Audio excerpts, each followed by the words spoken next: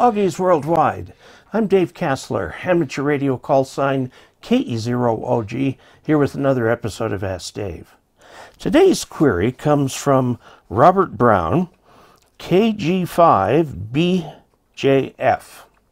And he has a simple question. He is uh, in the process of buying a house and looking forward to get on the air, and he's going to put up some antennas and so on. The question he has is how do you determine which lightning arresters are the correct ones to use?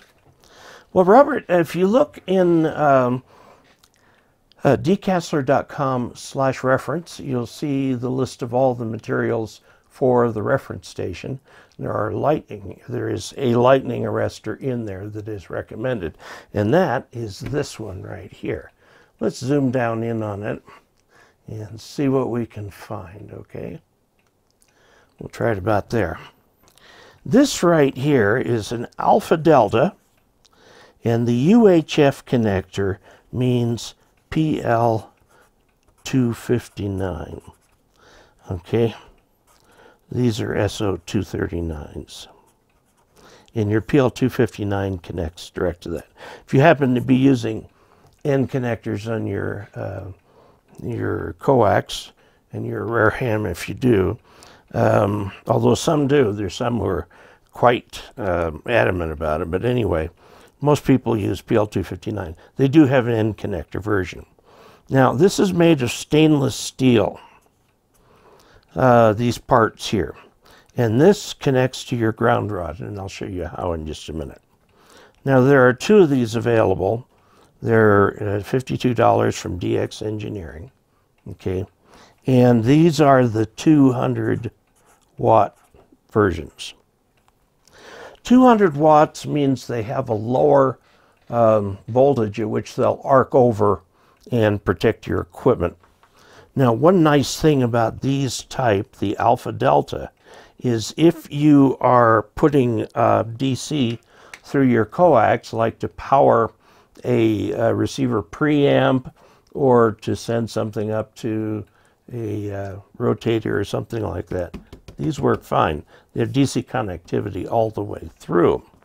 Okay, the way they work is there's a little gas-filled arc tube inside, and if the voltage gets too high, that'll arc over, and the voltage across an actual arc isn't very big, so most of the surge gets taken care of here, and it shorts out this side so that it doesn't get to your radio, or whichever side. They're, they're uh, a uniform either side you can use. Now, uh, one thing I want to mention about this is that the they don't show there's a little knob on this side that you unscrew that you can put the arc tube in. The arc tube is self-resetting, but if you get a really strong one, it can uh, burn the thing out, and it, it will. It's supposed to fail closed, thus protecting your equipment. So if all of a sudden you're getting nothing on a channel, go out and check that plug and see if that's the case. If you run it without the plug, you have no protection. Now, I will mention that in the event of a direct lightning strike, all bets are off, okay? Uh, they can do very strange things if you get a direct strike. But uh, these are for very nearby strikes. Um, there's a lot of uh, uh voltage induced on your antennas and it can be taken care of here and shunted to ground. Now, this is the one on the recommended station list, which is fine um, because the uh, ICOM 7300, which is the reference rig, uh, is only a 100 watt rig. So this is the perfect lightning arrestor for it. Now there is a version of this. It's the same part number uh, from the front there, but this says high power and it's 2000 watts. So on all of the antennas on which I will use my amplifier, I put these. Now if you have these, you can take out the 200 watt uh, little gas tube and put in a 2000 watt gas tube. You can get the gas tubes separately at DX Engineering. Okay, I'm just using DX Engineering because they have everything. A lot of people are familiar with them. Okay, so these are the alpha deltas. These are the ones I recommend. However, polyphasers are very popular. Now, polyphaser is a little different. This particular one is 2 kilowatts, uh, VHF 375 watts. It's a DC block. In other words, there's not a straight through DC connection. And the problem with that is like if you're using this to protect or receive only antenna and you've got some DC on the line that uh, is uh, via a bias T that is powering the antenna, that will not go through here. Okay, similarly, the MFJ mag loop that has the uh, tuner in the shack needs DC connections. That's one of the reasons I prefer the alpha delta over the polyphasers. Okay, polyphasers are also more expensive, but they're also popular, and you can get those too if you know if this is what all your friends use and you don't have any situation where you need to pass DC. Uh, you could use the polyphasers too if you want. Okay. Now, what do you connect them to?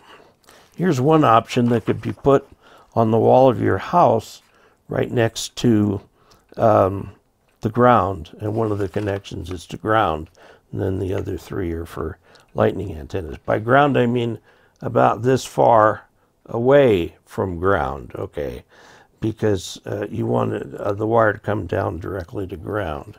You can also use this particular device in your shack as your grounding bus. I just use a piece of a pipe you see where it's got the little bend down here with a hole in it?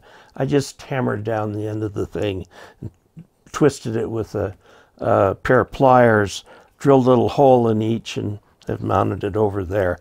It didn't cost me a thing because I had the extra piece of pipe sitting around. Another thing you can do is get this type of a situation, which is what I have.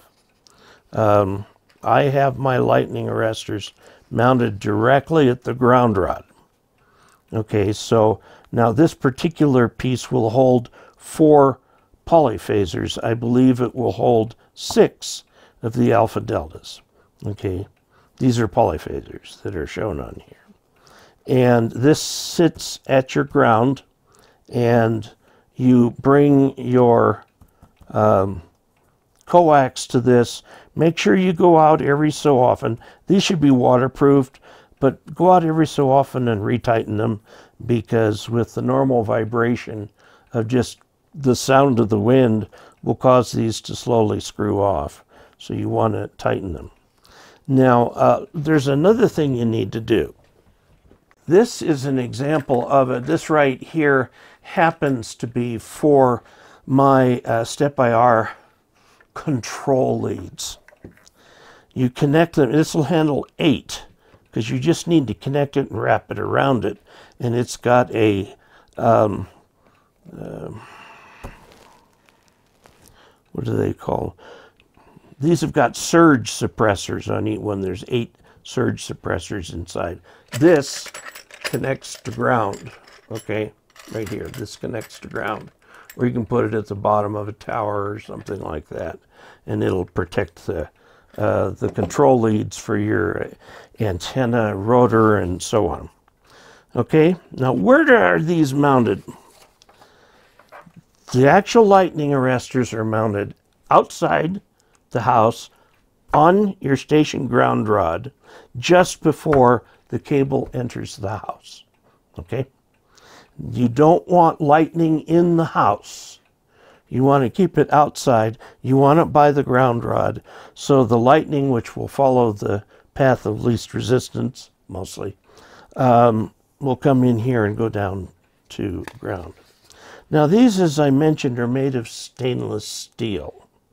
Okay, stainless steel with copper, there's a, a long-term probability of corrosion, but normally stainless steel does not cause very much corrosion. There is some. Stainless steel is designed for like forks and knives and spoons. Uh, it's not really meant as a do all end all for avoiding corruption. One of the problems is it's not as strong as other brands of steel that might be used, say, for building a ship. What you want to do, because you've got stainless steel, uh, as I showed earlier, you've got the uh, part that's stainless steel, that is, that is, and that is. Now, you can't tell these away from the uh, galvanized aluminum, the lightly galvanized aluminum that you get. Um, I'm sorry, zinc coated, but I guess that is galvanized. Okay.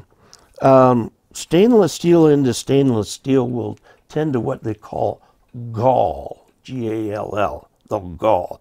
They can be hard to get out. Okay. So what you do is you put a lubricant on them. And the lubricant you want is this right here. Jet Lube SS30 pure copy and pure copper anti-seize. Now obviously it's not pure copper. Because if it were pure copper it'd be a solid. That doesn't do you any good. It is a neutral petroleum product that is filled as, as much as it can be with copper dust. And you put this in on all these parts where you've got aluminum to copper or even aluminum to aluminum. It's an anti-seize compound, so it'll keep it from galling.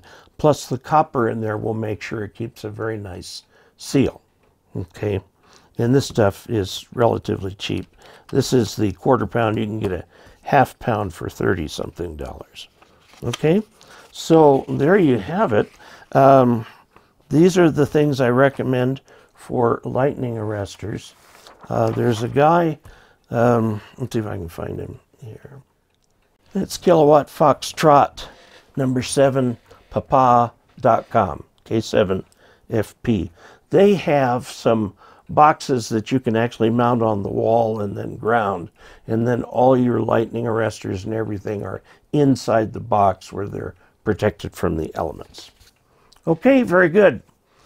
I want to draw your attention to a fairly new feature of this channel, and that is a giveaway, a one giveaway a month. My study is filled with books and gadgets I've accumulated from having this channel, and it's time to thin the herd, so to speak. So here I'm announcing my second giveaway to hams in the USA. And I say in the USA because priority shipping abroad is crazy expensive. Okay? The item to be given away this time is an antenna. And it's the myantennas.com end-fed half wave 8010. It'll handle up to one kilowatt of single sideband. It's an end-fed half wave It'll give you part of 80, about 100 uh, kilohertz wide, down in the bottom end of the band, which is where the FT8 is. It will give you all of 40, 30, 20, 17, 15, 12, and the bottom part of 10, which is where all the activity is. You get the, um, it's an unun, actually, it's not a balun, it's an unun. Um, and there's a mounting bracket that comes with this plus the clamps for to mount and it's uh, got some impressive specs now um, I bought this with channel funds. I tested it. It's a wonderful antenna. I was really surprised how well it worked. Um, it's a great antenna if you've got 130 feet across your property that you can put this thing up okay? Here's how it works. It's totally free to you. Send a postcard, QSL card, or simple one-page letter by snail mail to P.O. Box 98, Ridgway, Colorado 81432. On whatever you send, make sure to include the giveaway number, in this case number 2, your name and call sign and shipping address. Please also include your phone number in case I have any questions.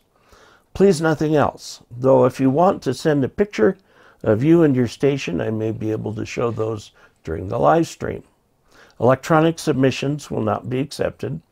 The drawing will take place uh, during the live stream held on Thursday evening U.S. time on September 30th. Now, that means if you're entering by mail, the way the post office is going these days, you should mail it at least a week prior to the 30th, so the 23rd. Make sure it's uh, mailed by the 23rd. I don't go by the postmark. I go down to the post office on September 30th. I'll collect all the cards that are there and add them to the pile that I already have. And I'll shuffle them all up and we'll pick one during the live stream. Note that I pay the shipping, uh, so it's all totally free to you. I hope to do something like this every month. Uh, note that after the drawing, all entries will be discarded and no information will be kept or transcribed. Okay. For example, last month I put all the entries in the trash except the winning one, which I put in the box with the book that I gave away and sent to the guy who won. So I kept nothing. Okay. So, um, no information will be kept or transcribed. So there you have it. If you would like to help support this channel financially, you may do so by going to dcasler.com slash support and picking a way that you find most helpful. Uh, I draw your attention to Patreon because if you um, become a patron through Patreon, uh, you will have early access to one of the videos during the week um, up to a week in advance or just a few days in advance, but certainly in advance. Please also subscribe and click the bell and click like, and don't forget to comment. Until we next meet, 73.